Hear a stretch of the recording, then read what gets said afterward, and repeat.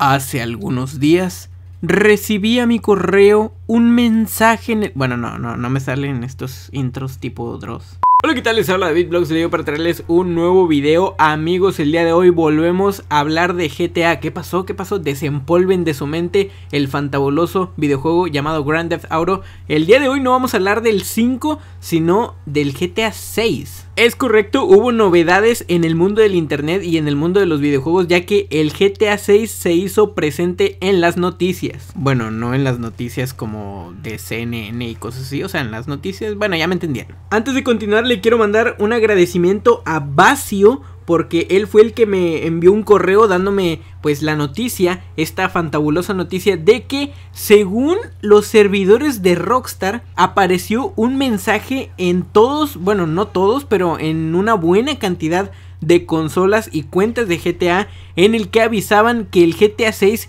ya estaba listo para salir el próximo año para que lo fueras apartando. El correo que me llegó de este chavo eh, me decía que estaba jugando GTA, todo tranqui, todo chill en su PlayStation 3, cuando de repente salió este mensaje que estás viendo en pantalla. De inmediato lo leí y dije, mmm, vaya, vaya, ¿qué podría ser esta, esta situación? Me puse a analizar y pues resulta que no es falso. La captura que estás viendo en pantalla no es falsa, como lo vas a empezar a ver a continuación.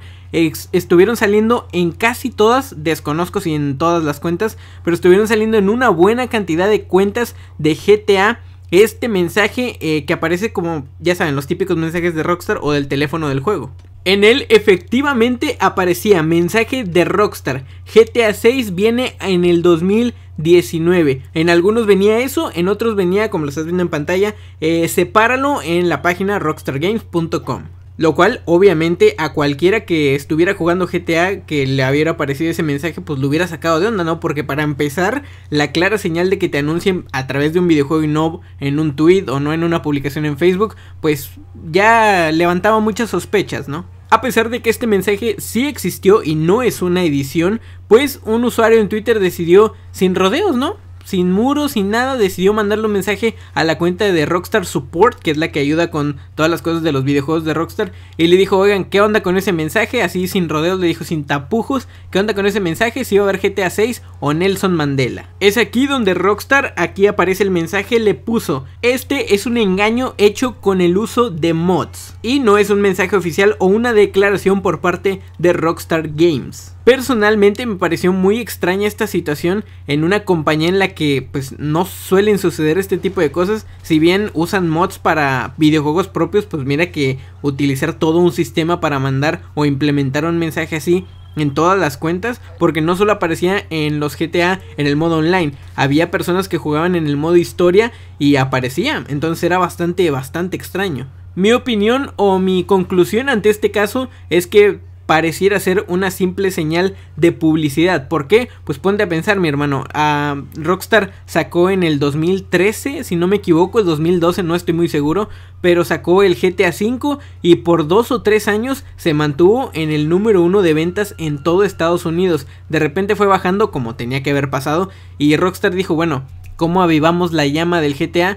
pues vamos a lanzar este comunicado, este mensajito, lo implementamos, lo dejamos unos 10 segundos en cada cuenta y voilà. Nadie se va a dar cuenta y decimos que pues, nos hackearon, ¿no? Básicamente. Era obvio, la gente con el paso del tiempo se iba a aburrir del GTA V. De hecho, creo que pasa con la mayoría. No sé si hay alguien que aún lo juegue con enjundia como hace 4 o 5 años. Sin embargo, pues como para avivar la llama, sabemos que Rockstar no está enfocado al 100% ahorita en otro GTA. De hecho, un, eh, un creador, no sé si estoy seguro si es un creador o un ejecutivo de Rockstar, dijo que no está ni para 2019 ni para 2020. Entonces, en los próximos, en el próximo par de años no vamos a tener nada de GTA 6 ni de ningún otro GTA, a no ser de que sea el caso de que saquen GTA y tal cosa, que no sea uno, eh, uno seguido, vaya. Obviamente por encima iban a estar juegos más eh, comunes en los que se actualicen cada año, por ejemplo un FIFA, ya ven que Fortnite ahorita es uno de los que más está pegando y en su momento fue el PUBG.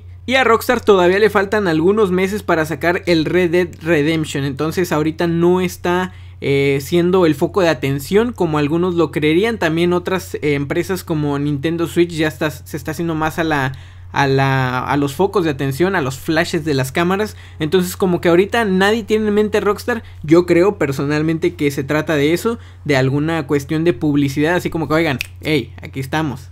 Aquí seguimos, ¿eh? No nos olviden. Y eso fue la noticia del día de hoy. Si te gustó, ya sabes que me puedes dejar tu comentario. Una pregunta para que me la contestes, obviamente en los comentarios. Mi pregunta es, ¿tú sigues jugando recurrentemente GTA? O sea, me impresiona. Yo la verdad tengo me atrevería a decir que meses que no lo juego.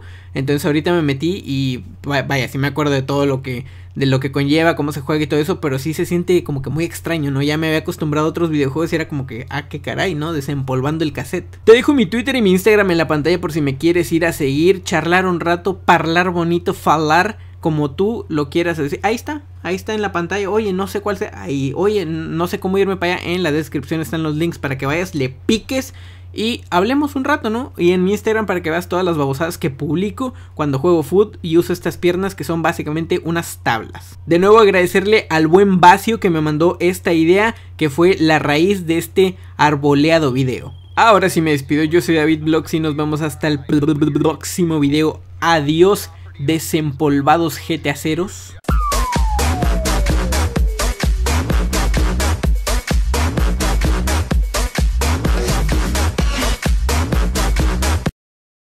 Dos videos en una semana, ¿eh? Vaya, vaya, menudo récord que estoy rompiendo.